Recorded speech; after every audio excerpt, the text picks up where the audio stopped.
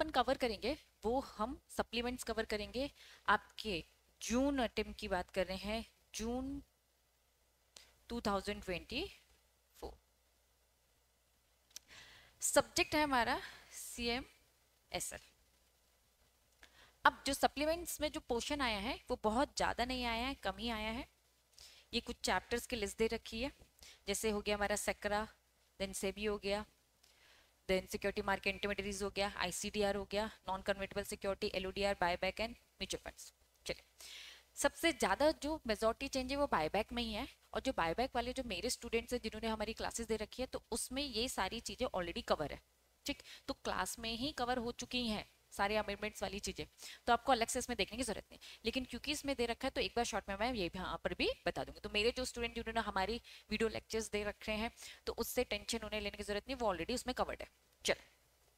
Start करते हैं। सबसे पहला चैप्टर सेक्रा जो सेक्रा एक्ट है सिक्योरिटीज कॉन्ट्रैक्ट रेगुलेशन जो एक्ट है, इसमें आपके चैप्टर में जो एड ऑन किया गया दैट वाज गवर्नमेंट कंपनी की डेफिनेशन जो गवर्नमेंट कंपनी की जो डेफिनेशन है डेफिनेशन में साफ़ बोल रखा है कि गवर्नमेंट कंपनी वो कंपनी होती है जिसमें नॉट लेस देन 51 परसेंट मतलब 51 परसेंट की शेयर होल्डिंग किसकी होगी? या तो सेंटर गवर्नमेंट की होगी, या तो स्टेट गवर्नमेंट की होगी, या तो गवर्नमेंट पार्टली सेंटर या स्टेट वन ऑफ़ दी होगा इंक्लूड अगर से गवर्नमेंट कंपनी की कोई सब्सिडी है तो वो भी हो जाएगा। अभी गवर्नमेंट कंपनी की डेफिनेशन क्यों दे रखी है? गवर्नमेंट कंपनी की डेफिनेशन वही डेफिनेशन है जो अभी तक हम नॉर्मली कंपनीज़ एक्ट में भी पढ़ते आ रहे हैं। लेकिन डेफिनेशन देने के पीछे लॉजिक ये है कि वो रूल नंबर 19 ए में ये चीज़ आपको बताना चाहते हैं कि सेंटर गवर्नमेंट एग्जेम्प्ट सरकार एग्जेम्प्ट कर सकती है लिस्टेड एंटिटी को। जिन लिस्टेड एंटिटी में सेंट्रल गवर्नमेंट स्टेट गवर्नमेंट या पब्लिक सेक्टर का मेजोरिटी शेयर्स है या फिर वोटिंग है तो सिंपल भाषा में मैं ये बोलूँ, एक लिस्टेड कंपनी है। इस लिस्टेड कंपनी में अगर किसी गवर्नमेंट ने पैसा लगा के रखा है तो उस लिस्टेड कंपनी को छूट दी जा सकती है बाई दी सेंट्रल गवर्नमेंट तो ये बात उनको बतानी थी, इसीलिए उन्होंने गवर्नमेंट कंपनी की डेफिनेशन तो बस इस चैप्टर में यही एड ऑन हुआ, बाकी कुछ भी चीज़ें एड ऑन नहीं हुई है। चलिए। चलिए नेक्स्ट चलते हैं। अपना सभी चैप्टर की तरफ़ लेसन फोर ये आपको बता रहा है redressal of the investor grievance through the SEBI complain score का जो प्लेटफॉर्म है, उसको लेकर कुछ एड ऑन किया। अब देखो in the order strength the existing investor ये जो पूरा पोर्शन है आपको जनरल इंट्रोडक्शन दे रहा है। जनरल इंट्रोडक्शन में दे रहा है, क्योंकि हम चाहते हैं कि इन्वेस्टर का जो सॉल्यूशन है रिजोल्यूशन है, वो बहुत जल्दी से जल्दी मिले। इसीलिए इन्होंने कुछ एक्स्ट्रा चीज़ें एड ऑन किए ऑटो पायलट मोड में सारी चीज़ें चल सके ऑटो रूटिंग हो सके ऑटो एक्सकलेशन हो सके, वो उसकी बात करें चलिए रिड्यूसिंग द टाइम लाइन ताकि फटाफट कंप्लेन रिजॉल्व हो जाए। यहाँ इन्होंने डेजिग्नेटेड बॉडीज बनाई हैं, जो मॉनिटर करेगा। May monitor the process redressal of the investigations by the entities तो यहाँ पे डेजिग्नेटेड बॉडीज की बात हो रही है। अब ये डेजिग्नेटेड बॉडी की पूरी पूरी लिस्ट दे रखी है। Designated body as per circular कौन कौन है? इन्होंने वाला लिस्टेड कंपनी हो गया मर्चेंट बैंकर हो गया banker to issue real estate investment REIT then municipal debt then trustee debenture portfolio mutual fund deposited participant ये पूरी लिस्ट है। किसकी लिस्ट है? डेजिग्नेटेड बॉडीज की। ठीक? चलिए। रिस्पॉन्सिबिलिटी क्या है इस डेजिग्नेटेड बॉडी की जो हमने लिस्ट पढ़ी? रिस्पॉन्सिबिलिटी है कि वो मॉनिटर करेगा हैंडल करेगा, सारा का सारा यहाँ पे जो भी डोमेन चल रहा है शेड्यूल के according taking non enforcement action जैसे कि वो आपको एडवाइस करेगा देन आपको कॉशियस लेटर देगा। ठीक? तो ये सारी चीज़ें ली जाएँगी। अब आ जाओ। यहाँ इन्होंने प्रॉपर बोल रखा अभी तक हमने जनरल चीज़ें पढ़ी। जनरल चीज़ में क्या पढ़ा? कि हम चाहते हैं कि चीज़ें और बेटर हो जाए, जल्दी टाइम पे हो जाए डेजिग्नेटेड बॉडी बनाई डेजिग्नेटेड बॉडी हमने पढ़ लिया, उनके काम हमने समझ लिया अब हम पढ़ रहे हैं कैसे वो इन्वेस्टर के प्रॉब्लम्स को हैंडल करेंगे। तो चलिए डेजिग्नेटेड बॉडी क्या करवाएगी? Submission of the complain handling आ जाओ। ऑल द एंटिटीज जितनी भी जो कंप्लेन होगी स्कोर के थ्रू आने का रिजॉल्व हो जाने चाहिए। 21 days from the complain receive आज कंप्लेन रिसिव इक्कीस दिन के अंदर रिजॉल्व हो जानी चाहिए। वो ये कह रहे हैं। रिजॉल्व नहीं तो कम से कम उसका रिप्लाई एक्शन आना चाहिए। A T R what do mean by A T R action taken report आ जानी चाहिए। मतलब कंप्लेन डाली तो वहाँ से कुछ ना कुछ रिप्लाई आ जाए, ठीक है? Complain lodge on the score against any entity shall be automatically forward to the concern entity इन्होंने कहा कि भाई आप स्कोर में डालो स्कोर जो पर्सन को देना ऑटोमेटिकली वहाँ चला जाएगा। अपलोड हो जाएगा एटीआर कितने दिन के अंदर? ट्वेंटी वन डेज़ के अंदर। कंप्लेन अगेंस्ट जो भी एंटिटी है साइमल्टेनियसली फॉरवर्ड कर दी जाएगी स्कोर के थ्रू ठीक है? डेजिग्नेटेड बॉडी के पास। डेजिग्नेटेड बॉडी एंश्योर करके वो इक्कीस दिन के अंदर हो जाए।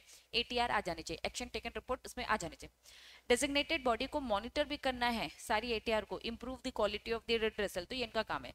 से भी पैरेलली में कॉन्क्रेंटली मॉनिटर ये भी पैरेलली देखेगा। चलिए, अब एक फ़र्स्ट रिव्यू का कंसेप्ट आया। फ़र्स्ट रिव्यू और second review first review second review क्या है?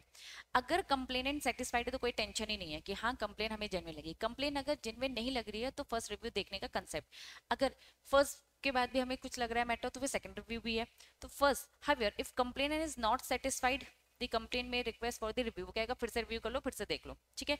विद इन द 15 डेज़ जब भी एटीआर आया वहाँ से 15 दिन के अंदर। In case complain request for the review और entity is not submitted ATR within 21 अगर कंप्लेनेंट रिक्वेस्ट करता है रिव्यू का, और या फिर एटीआर नहीं आता है 21 डेज़ के अंदर तो डेजिग्नेटेड बॉडी फ़र्स्ट रिव्यू वाला कंप्लेंट को अपने तरीके से देखेगी डेजिग्नेटेड बॉडी में से क्लैरिफिकेशन एंटिटी से कि भाई आपने क्यों नहीं दिया? ठीक है?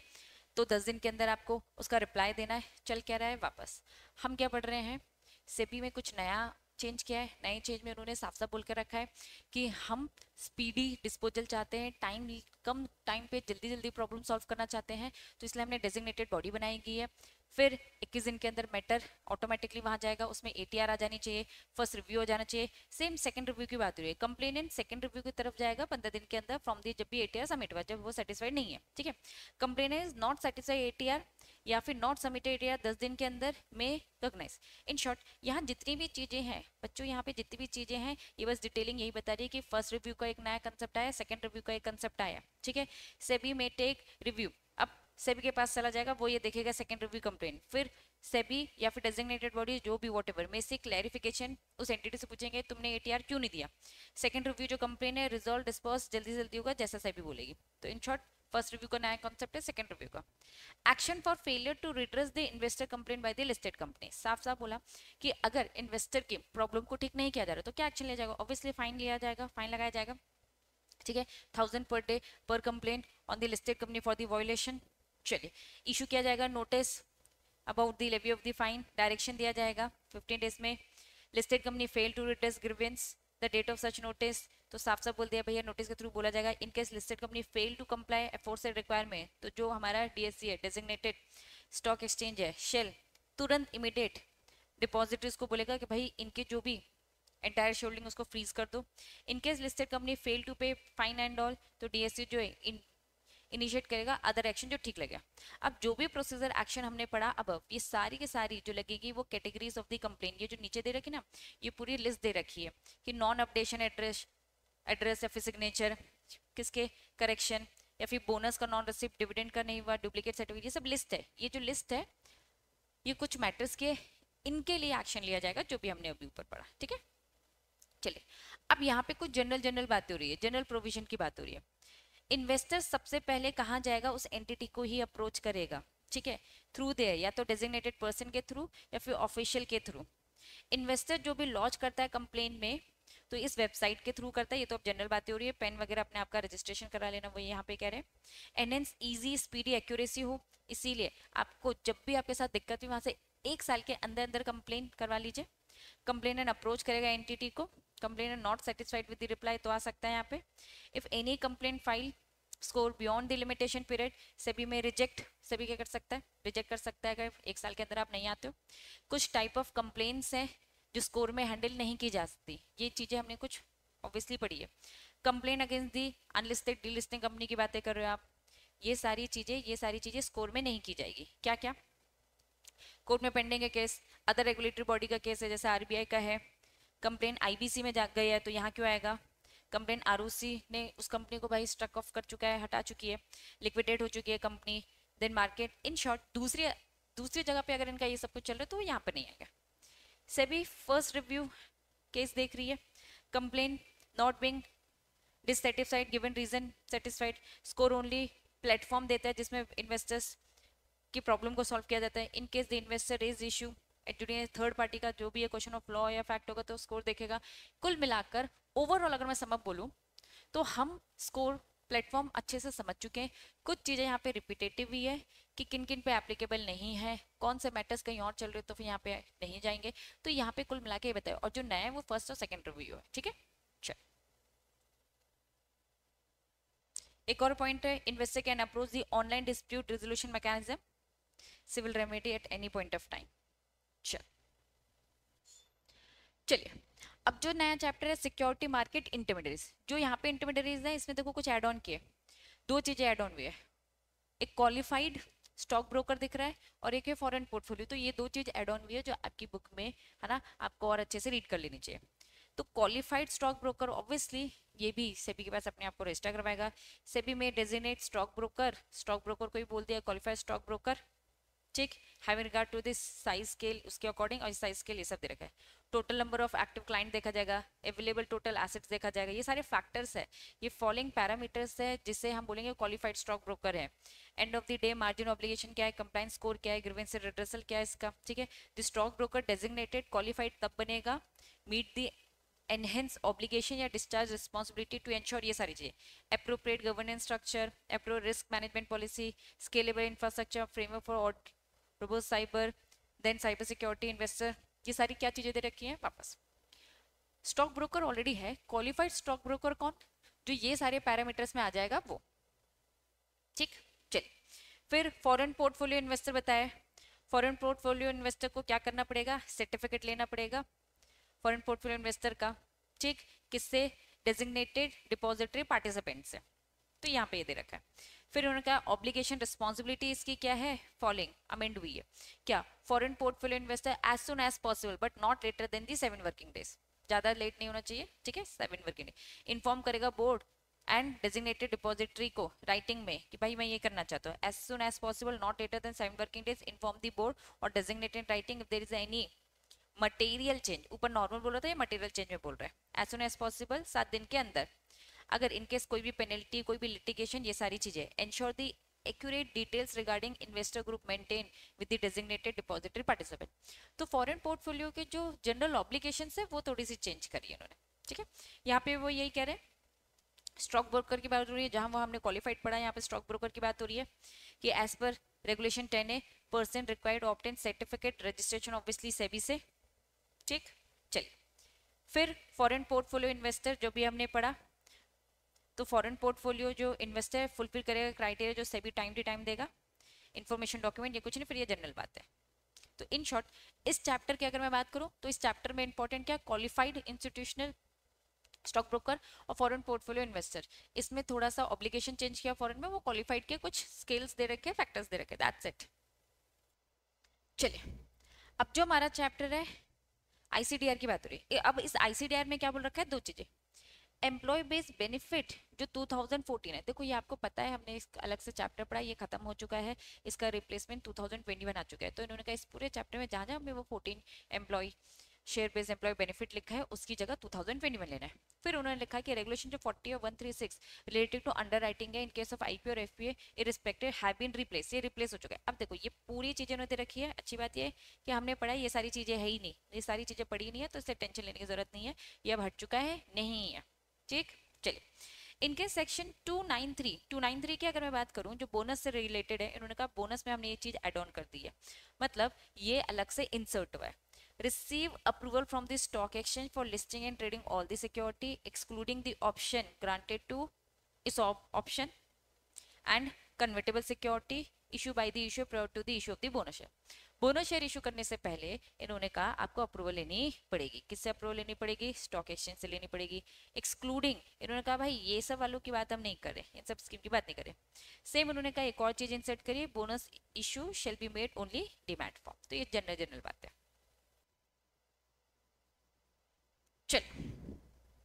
Issue listing of NCS non convertible security.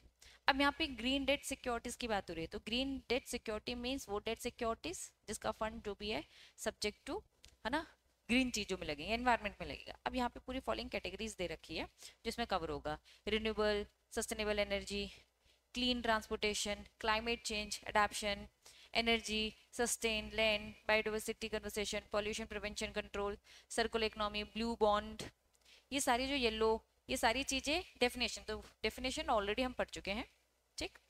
चल। ये भी पूरी की पूरी यहाँ पे लिस्ट अब रेगुलेशन 15 बोलता है right to recall and redeem the priority to the maturity जो six seven have been substitute in the following यहाँ इन्होंने देखा इश्यूअर सेंड करेगा नोटिस रिगार्डिंग रिकॉल और रिडम्शन हम इसको रिकॉल रिडम कर सकते हैं प्रियोर टू मैच्योरिटी मैच्योरिटी होने से पहले।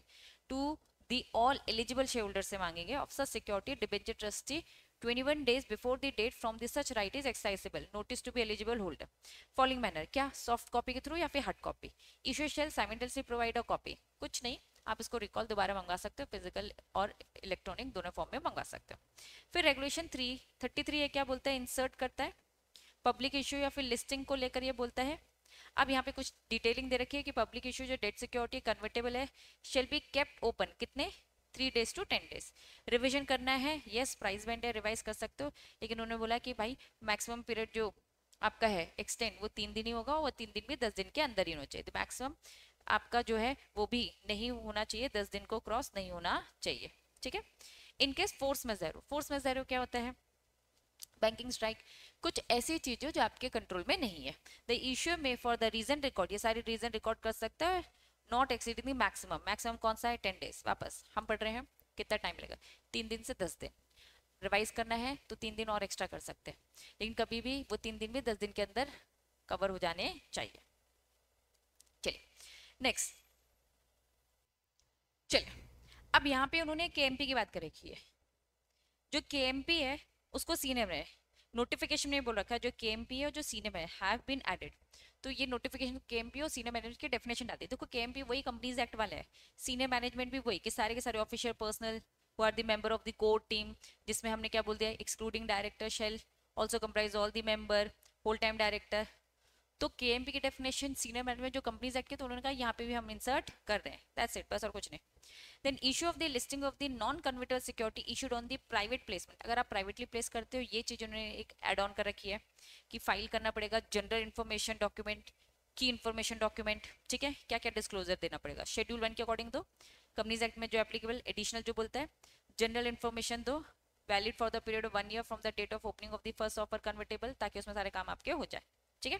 चलिए, फिर इश्यूर क्या कर सकता है? प्राइवेट प्लेसमेंट सेकंड और कर सब्सिक्वेंटली भी ऑफ़र कर सकता है। तो यहाँ पे कुछ नहीं प्राइवेट प्लेसमेंट देते वक्त आपको कुछ कंडीशंस का ध्यान रखना है। वो यहाँ पे ये सारी कंडीशंस बता रहे हैं। ठीक है? आ जाइए।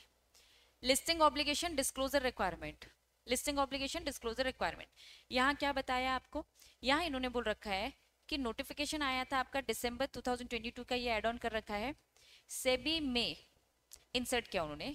सेबी में after due consideration of the interest of the investor SEBI को हमेशा इन्वेस्टर के इंटरेस्ट का ध्यान रखना है एंड द सिक्योरिटी मार्केट का और उसके डेवलपमेंट का, और रिलैक्स कर सकते हैं strict enforcement of any requirement मतलब होता क्या है कि हम बहुत सारे रूल्स रेगुलेशन दे रहे हैं, लेकिन कहीं अगर ऐसा लगता है तो आपको रिलैक्स भी कर दिया जाएगा, बस ये जनरल बात बोल रखी है।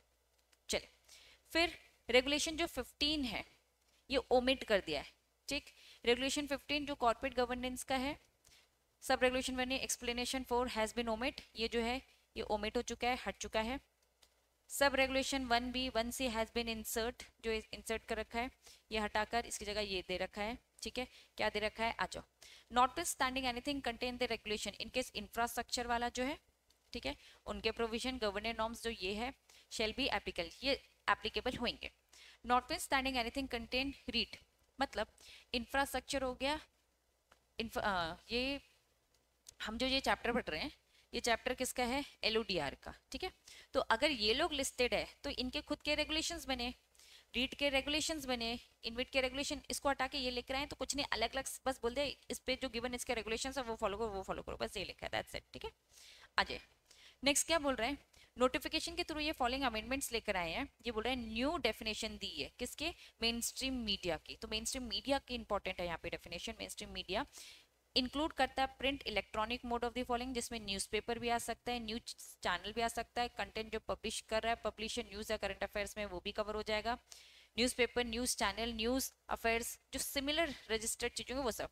Vacancy to be fill in the office of the compliance obviously compliance officer भी बैठेगा। Any vacancy in the office compliance officer listed ठीक है नॉट लेटर देन तीन महीने का टाइम दे रहे दैट्स इट नॉट फिल तीन महीने के अंदर तो unless appointment of the law जो बोलता है ठीक चलिए Listed entity not fill such vacancy by appointing a person in the interim capacity unless the appointment is made in accordance with the law of the fresh appointment of such office.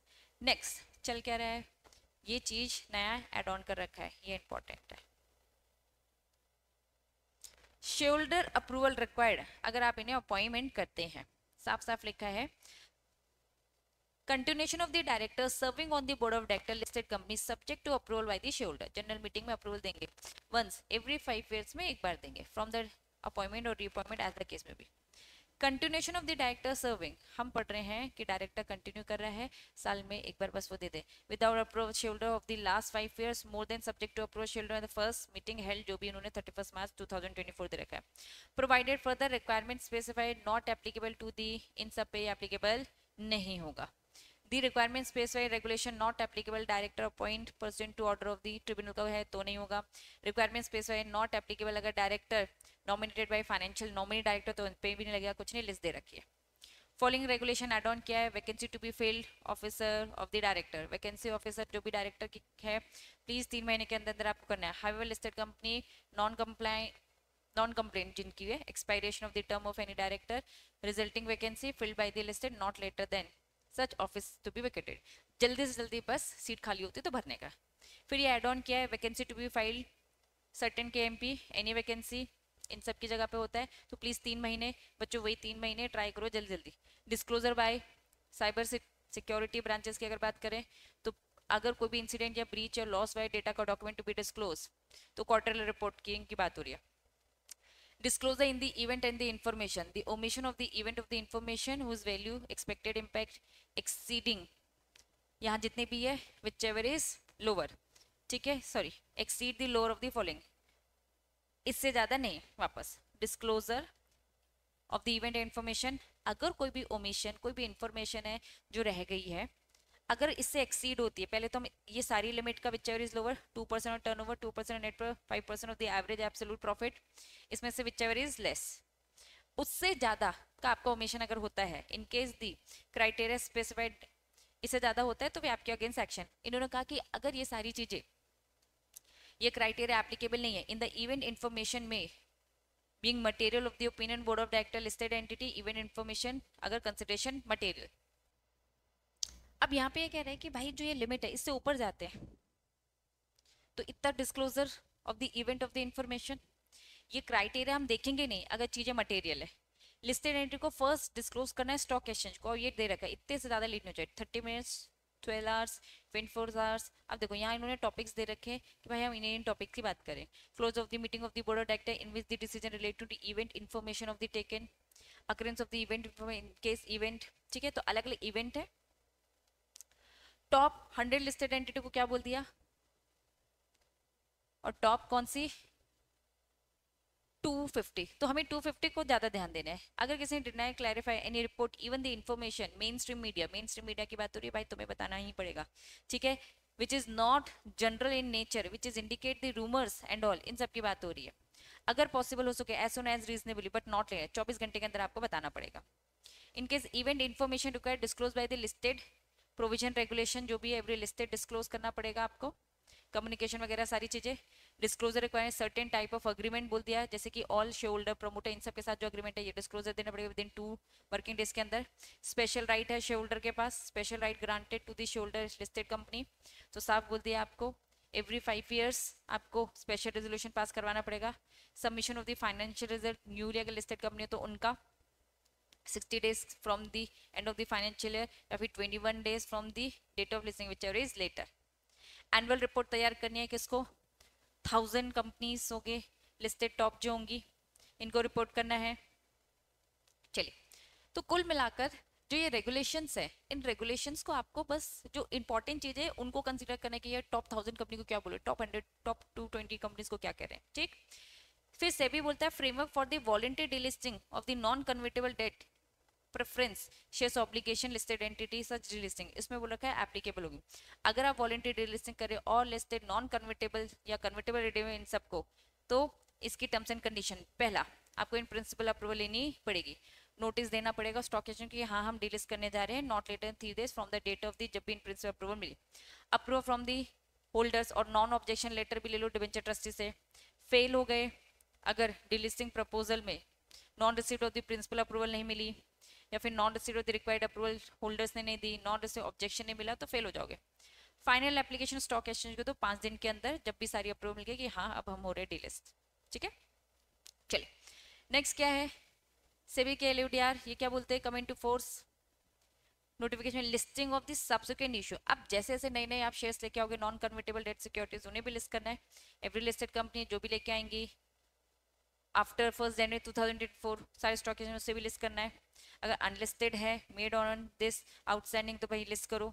Listed entity propose to be list सबको list करना पड़ेगा। Listed entity not required to list in securities को करने की ज़रूरत नहीं है। अगर वो बॉन्ड्स इशू है as per income tax non convertible debt है अग्रीमेंट के अकॉर्डिंग लिस्टेड एंटिटी और मल्टीपल इंस्टीट्यूशन के साथ नॉन कन्वर्टेबल है पर्सन टू कोर्ट या ट्रिब्यूनल वाला है security issued by listed entity जो रेगुलेशन में इनकम्बर्ड अनकम्बर्ड है।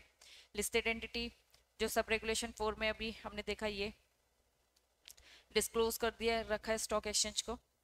चले नेक्स्ट ये बोलता है रेगुलेशन थर्टी वन एल के बोलते हैं, कोई भी symbol words numerical with effect from this is have been omitted ये हमें हटा दिया है, उसकी जगह पर ये सब्सिट्यूट आ गया है विथ इफ़ेक्ट फ्रॉम ठीक, ये कुछ नहीं, उसका ब्रीफ ही बस दे रखा है with effect from the date of as may be specified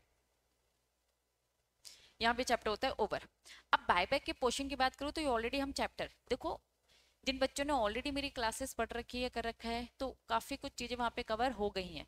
तो उसे आपको फिर देखने की ज़रूरत नहीं है। जैसे बायबैक ऑलरेडी पूरे से कवर है। अब यहाँ पे उन्होंने बोल रखा है डेफिनेशन फ्रिक्वेंटली ट्रेड की और सेक्रेटरी फ्रिक्वेंटली ट्रेड का मीनिंग इन्होंने वैसे भी एक्जैक्टली नहीं देखा रेफर कर रखा है। फ्रिक्वेंटली ट्रेड मतलब जिसमें पूरे साल भर के टेन परसेंट से ज़्यादा ट्रेडिंग हो रहा फ्रिक्वेंटली सेक्रेटरल ऑडिटर से मतलब क्या है? सीएस की बात हो रही है। ठीक है कंपनी सेक्रेटरी प्रैक्टिसिंग की बात हो रही है। अब डेफिनेशन ऑडलोड हट चुका है। रेगुलेशन फोर की बात करें तो यहाँ पे उन्होंने जो मैक्सिमम लिमिट है, वो ट्वेंटी फाइव परसेंट दे रखी है। ठीक है? अब बहुत सारी चीज़ों में उन्होंने स्टैंड अलोन और कंसोलिडेशन ये मैंने पढ़ाते पढ़ाते एंड की जगह और का सब्सिट्यूशन आ चुका है। इन्होंने कहा कि अब सारी चीज़ें धीरे धीरे खत्म हो रही है तो method of buyback of share अगर ऑडलॉट क्योंकि ऑडलॉट खत्म हो चुका है। और अदर जो भी ऑडलेट है प्रोवाइडेड फॉर दैट धीरे धीरे करके हम इसे खत्म करेंगे। तो 2025 में टोटल खत्म होगा। तो 15 परसेंट अभी उन्होंने बोला, फिर 10 परसेंट पाँच परसेंट धीरे धीरे खत्म। तो buyback from the open market through the stock exchange not be allowed with effect मतलब इसके बाद आपको ओपन मार्केट देखो दो चीज़ें खत्म होंगे। ओपन मार्केट से धीरे धीरे खत्म करें ऑडलेट पूरे से खत्म कर दे। तो ओपन मार्केट में का एक बार से नहीं खत्म करेंगे। तो पहले पंद्रह, फिर दस, फिर पाँच करके खत्म करके ज़ीरो हो जाएँगे। By buyback through tender offer की बात करें, इसमें बीच बीच में ये लोग कुछ चेंजेस लाए हैं। Company simultaneously public announce file copy of the public announce में इलेक्ट्रॉनिक मोड की बात हो रही है। स्टॉक एक्सचेंज तुरंत format disseminate public announcement to the public copy of the public announcement placed on the respective website of the stock exchange company required file करना पड़ेगा दो दिन के अंदर रिकॉर्ड डेट की letter of the offer buyback through tender offer no draft letter आप देखो ये पूरी रिपीट कर रहे हैं। पब्लिक अनाउंसमेंट अगर इसमें आपको डिटेल में पढ़ना है, बच्चों देखो ये थोड़ा सा फांसी जा रहा है क्योंकि अमेंडमेंट है। ठीक है, मैं ये मान के चल रही हूँ कि आपने चीज़ें पढ़ रखी है, बस क्या क्या चेंज आए वो बस बताने से पता चल जाएगा। अगर आपको उसमें डिटेल देखना है तो आप मेरी वो प्रॉपर डिटेल वाली क्लासेस देखें पब्लिक अनाउंसमेंट डिस्क्लोज करेगा dispatch letter offer date of opening of the not later than the four working days ठीक है pure amendment requirement five working days हुआ करता था। Buy back five working days फिर से company shall complete the verification company extinguish destroy करेगा, वही fifteen days का ध्यान रखना है company furnish certificate and all provision relating odd lot ये सब अब खत्म। Buyback from the open market की बात की जाए तो धीरे धीरे इन्होंने कहा company shall ensure seventy five percent of the earmark buy back is utilise buy backing shares other specify minimum utilisation जो आपका अमाउंट एंड मार्क वो 50 परसेंट टू 75 परसेंट होना चाहिए। Minimum 40 percent of the amount and mark जो buyback is specify in the resolution of the board of director special ठीक है? For the purpose of buyback through stock exchange separate window अलग से करवाओ। Company simultaneously public announcement करेगी। Stock exchange forward decent ये बात public तक पहुंचाओ। कॉपी जो पब्लिक अनाउंसमेंट की वेबसाइट में डाल दो। Buyback through stock exchange subject to restriction placement चलिए opening of the offer of the stock exchange the following amendment अब ये छह महीने sixty six twenty two working buyback जो ओपन वाला है not later than four working days from the date लेकिन shall close अब ये अलग अलग टाइम के लिए, जो हमने ऊपर पढ़ा था ना, पंद्रह, दस, पाँच। जो हमने पढ़ा था पंद्रह, दस, पाँच। उसी को बोल है कि पंद्रह परसेंट की बात करें within six month buy back period sixty six working days उसके लिए, फिर ट्वेंटी टू वर्किंग डेज़ देखो ये क्या लिखा है। टू थाउज़ेंड ट्वेंटी थ्री की बात हो रही है। ठीक है? ऑन एंड बिफोर वहाँ से छः महीने। ठीक है? ये अलग अलग ईयर्स की वर्किंग डेज़ दे रखी है। ठीक? चलिए। Buy back through the open building वापस से कह रही हूँ, ये सारी चीज़ें अगर आपको डिटेलिंग पढ़नी है तो बच्चों क्लासेस में जाओ, क्योंकि वो डिटेल्ड है। ठीक। अब ये अमेंडमेंट है शॉर्ट में से समझना है, इसको हम बहुत ज़्यादा इसकी डिटेल गहराई में नहीं जा सकते। Buy back through book building book building following amendments तो कंपनी में बाय बैक इट शेयर ठीक थ्रू बुक बिल्डिंग प्रोसेस तो उन्होंने कहा डिस्क्लोजर्स देने पड़ेंगे। Company have authorise special resolution board of director का disclosure public announcement book building process commence seven public announcement content details तो ये बस ये दे रखा है, ठीक? चलिए। अब आते हैं फाइनल म्यूचुअल फंड में। म्यूचुअल फंड में उन्होंने क्या बोल रखा है? नई नई डेफिनेशन एड ऑन कर रखी है। नई डेफिनेशन क्या है? Liquid net worth liquid net worth means net worth deploy liquid asset liquid net worth मतलब सारी लिक्विड फॉर्म की बात हो रही है। अनएनकम्बर्ड की हो रही है? जैसे cash include cash money market government security ये सारी चीज़ें लिक्विड है तो ये डेफिनेशन न्यू याद रखना। एनएवी की डेफिनेशन दे रखी है। Net asset value means the value of the computer in the manner provided check provide definition देने provided regulation seven eligibility criteria देते हैं म्यूचुअल फंड के रजिस्ट्रेशन की। अब यहाँ पे क्या दे रखा है? आ जाओ। जिसका साउंड ट्रैक रिकॉर्ड अच्छा होना चाहिए और जनरल रेपुटेशन अच्छी होनी चाहिए। साउंड ट्रैक रिकॉर्ड से मतलब कैरी ऑन द बिज़नेस पिछले पाँच साल नेटवर्थ आपका पाँच साल एंश्योर दी पॉजिटिव ये सारी चीज़ें ऑलरेडी हम पढ़ चुके हैं, ठीक है? जिन्होंने वापस से मेरी क्लासेस दे रखी है, इसमें ऑलरेडी चीज़ें कवर हैं। ठीक है? नेट प्रॉफिट प्रोवाइडिंग डेप्रिसिएशन जो टैक्स है each of the immediate proceeding आपका साउंड ट्रैक रिकॉर्ड मतलब ये सारी चीज़ें अच्छी होनी चाहिए। एवरेज नेट प्रॉफिट आपका अच्छा होना चाहिए लास्ट फाइव ईयर्स का at least ten crore if requirement specified expression is not fulfil the sponsor shall ठीक? एडुकेट बस capitalise asset management company network दे दे अपना एंश्योर द इनिशियल इक्विलेंट दे दे चलो If the requirement specified under the explanation not fulfilled, the sponsor shall educately capitalize करे अपने asset management company को such that जो उसका network है asset का management not be less than कितना नहीं होना चाहिए 150 करोड़ से कम नहीं ये भी इंश्योर करे साथ में जो initial shareholding equivalent to capital contribution to the asset management company to extend not less than कितना 150 crore is lock in for the period of five years then appoint experience personnel ये सारे दे रखे हैं सब personnel ensure the acquisition of existing asset management company sponsor चले minimum positive liquid तो होना चाहिए कम से कम ठीक है ensure acquisition of stake existing asset management company at least 100 150 crore shall be locked for the 5 years वही ensure the other condition private equity fund या pool investment pool investment fund may also permit to sponsor mutual fund subject to condition ध्यान देना following regulation और insert किया इन लोगों ने क्या sponsor permit करेगा dissociate from the asset management company event of the sponsor या disassociation self event of the disassociation of the sponsor from the asset management company हम पढ़ रहे हैं। Norms of share holding and governance हमने जो norm share holding ये सब पढ़ा है तो इसमें ये सारी चीज़ें एड ऑन कर रखी है। ये एड ऑन कर रखी है। ये ऑलरेडी बुक में हमने अपने रेगुलर क्लास में कवर कर रखा है। Event of this sponsor disassociation ten percent से कम ज़्यादा नहीं। Asset management company fail to fulfil condition above disassociation sponsor तो shall such subject to such condition regulation sixteen बोलता है अपॉइंट करेंगे ट्रस्टी अपॉइंट जो ट्रस्टी होगा म्यूचुअल फंड में chairperson of the board of director trustee company independent होना चाहिए। Provided trustee company already appoint trustee mutual fund shall be comply with his sub regulation within the period specified time to time regulation 31 का ये क्या बोलता है? Principle approval from the recognise stock exchange लेना पड़ेगा। 31 का भी बोलता है listing agreement substitute of the following ये सब्सिट्यूट है। Before listing the unit of the mutual fund asset management company mutual fund shall execute agreement with the stock बच्चों, देखो, कहने के लिए तो मैंने सारी चीज़ें पढ़ा दी, क्योंकि इतनी सारी चीज़ आई। लेकिन अगर मेरा रिकमेंडेशन पूछोगे इंपॉर्टेंट पूछोगे तो वेरी वेरी वेरी इंपॉर्टेंट पूरा अगर इंपॉर्टेंट बोलो तो सबसे ज़्यादा इंपॉर्टेंट क्या है? सबसे ज़्यादा इंपॉर्टेंट क्या है, मैं आपको बता दूँ। जितनी डेफिनेशन एड ऑन हुई है ना, जैसे लिक्विड नेटवर्थ ठीक है? ये नॉर्म्स ऑफ़ ये इंपॉर्टेंट मैं इसमें से आपको इंपॉर्टेंट इंपॉर्टेंट चीज़ें बस बता देती हूँ और। ये सारी चीज़ें इंपॉर्टेंट है, ये जो डेज़ है, ये हो गया। मैं पिंक कलर से हाईलाइट करूँ सारी इंपॉर्टेंट चीज़ें। अगर आपको समय नहीं है पढ़ने का तो सारी इंपॉर्टेंट चीज़ें आप कवर कर सकते हैं। ये जो पिंक कलर से मैंने ये जो हाईलाइट किया। देन और क्या आएगा?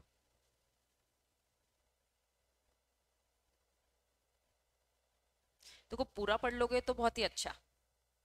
एक वन रीडिंग अच्छे से ठंडे दिमाग से करने का।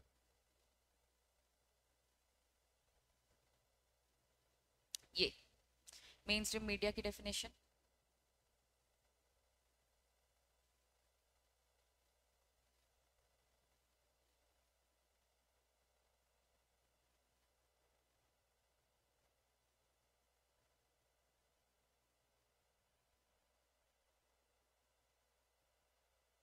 पोर्टफोलियो इन्वेस्टर ये इसमें क्वालिफाइड स्टॉक ब्रोकर ये है इम्पोर्टेंट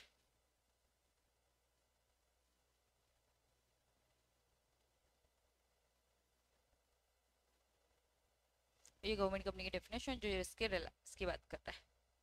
ठीक है? एग्जामिशन की। तो इंपॉर्टेंट मैंने मार्क कर दिया इनके टाइम नहीं मिल रहा, इतनी सारी चीज़ें कैसे करें, याद करें ऑलरेडी बहुत सारी चीज़ें पटक है तो बस ये इंपॉर्टेंट चीज़ें भी कर कराओगे तो भी चलेगा। तो यहाँ पे हमारा पूरा अमेंडमेंट होता है ओवर और जो अमेंडमेंट की जो ये पीडीएफ है, ये आपको डिस्क्रिप्शन में मिल जाएगी।